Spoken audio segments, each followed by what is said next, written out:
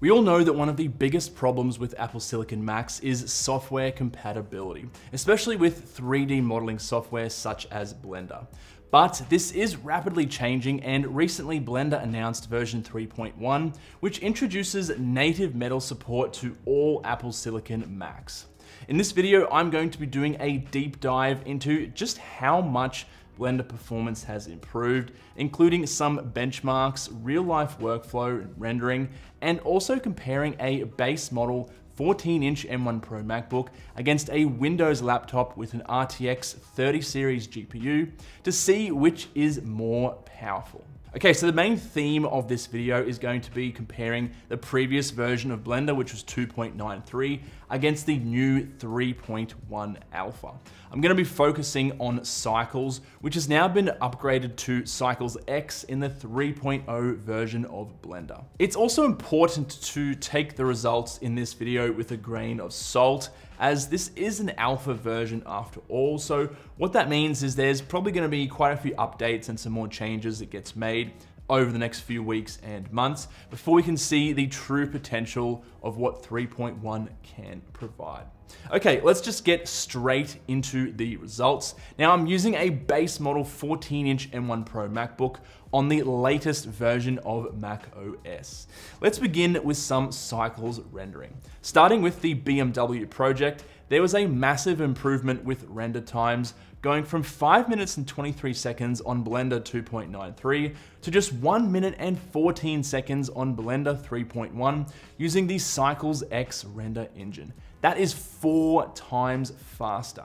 Now, rendering out a single frame from the Splash Fox demo scene, again using cycles, there was an improvement from 5 minutes and 24 seconds to 2 minutes and 9 seconds, or two and a half times faster.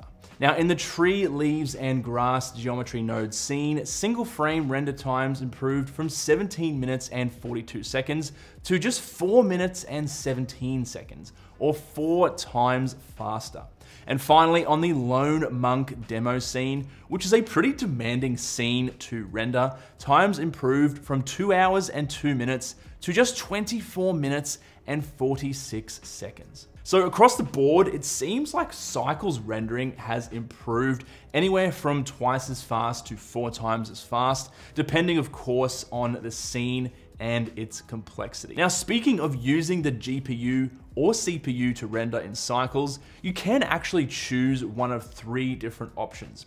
So if you go edit, preferences, and then cycles render devices on your Mac, you can select either the GPU or the other option, which is the CPU or both. You have to be obviously on Blender 3.1 for this. And depending on which option you choose, the render times can vary quite a bit. For example, on the BMW scene, you can see that selecting both the CPU and GPU results in the best time, while selecting only the GPU is a close second, followed by only the CPU, which is obviously the worst. Now, rendering a single frame using cycles in SplashFox, there is also a difference, and likewise in the Lone Monk demo scene, when using both the CPU and GPU, render times improve by about 5 minutes. So which option is the best? Well, I found that when selecting both the CPU and GPU during a metal render, the CPU cores went straight to 95 degrees Celsius and sometimes even higher, and the high performance CPU cores get slammed as you can see here while rendering the BMW scene. And this is only for a relatively small performance gain. Now this inevitably means increased internal temperatures, which also means the fan noise will be louder. So if you're after pure performance, it seems like using the CPU and GPU during cycles renders is the way to go, but if you're okay with the roughly 15% performance hit or even less in some examples. To get a quieter, cooler laptop, just select GPU only. All right, so let's get into the exciting stuff, shall we? This is an RTX 3060 Razer Blade 14. It's not the most powerful RTX laptop out there, but it's also not the weakest, and I selected it because it's very close in price to the base model 14-inch M1 Pro MacBook. Now you probably already know about NVIDIA's CUDA technology, but this doesn't actually utilize the ray tracing cores of the RTX 30 series GPUs. For that we need OptiX or OptiX, whichever way you pronounce it, which is now fully supported in Blender and is also much faster and more efficient than CUDA as you can see in this example. Now, like the Apple Silicon MacBooks, if you jump into Edit, Preferences, System, on your Windows computer, you can see all the options you have available. Now that we've unlocked those juicy ray tracing cores alongside the tensor cores of the RTX GPU, let's render some scenes and compare it with the MacBook.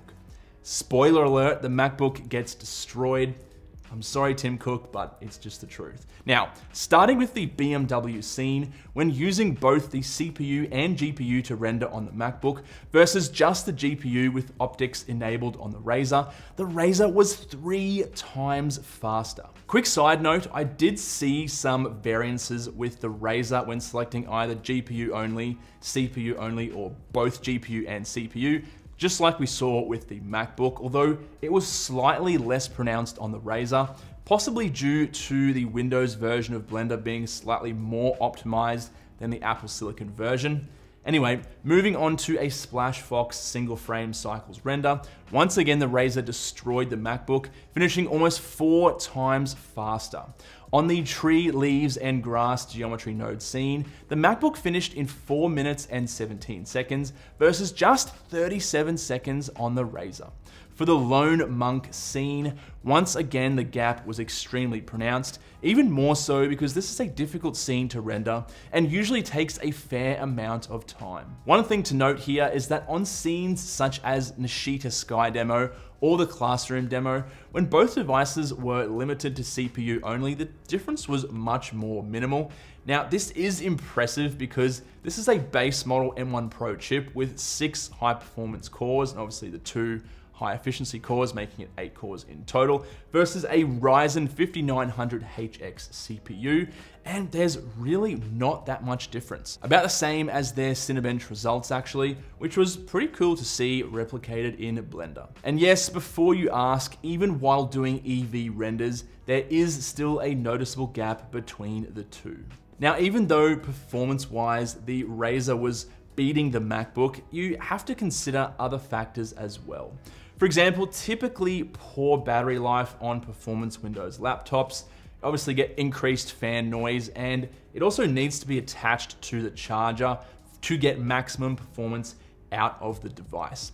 To put it into perspective, check out how many watts each laptop was pulling from the wall while rendering the Lone Monk scene using both CPU and GPU. Now that is a massive difference, even more so when you consider the MacBook can render at full performance while on battery. And remember, this is an RTX 3060, not even an RTX 3080, so the wattage actually isn't even that bad here. And also Razer sort of underclocks this particular GPU slightly as well. So there are GPUs out there on the market that are gonna suck up a lot more wattage than what this device can. Okay, so what have we learned from this most recent 3.1 update? Well, I think it's a massive and much needed update for Apple Silicon Macs. Cycles renders are between two and four times faster, and this is only the beginning. Again, guys, remember this is an alpha version of Blender, and is the first time metal support has been included for Apple Silicon Macs. So these results may change with additional updates. Who knows what it's going to be like in the next one to two years as more support and more updates are released.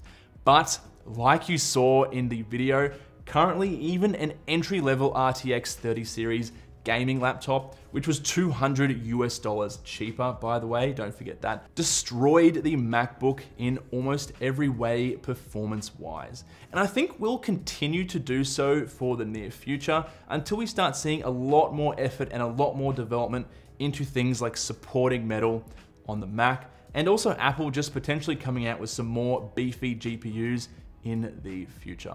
Anyway, guys, hopefully you enjoyed this one and I'll catch you in the next one.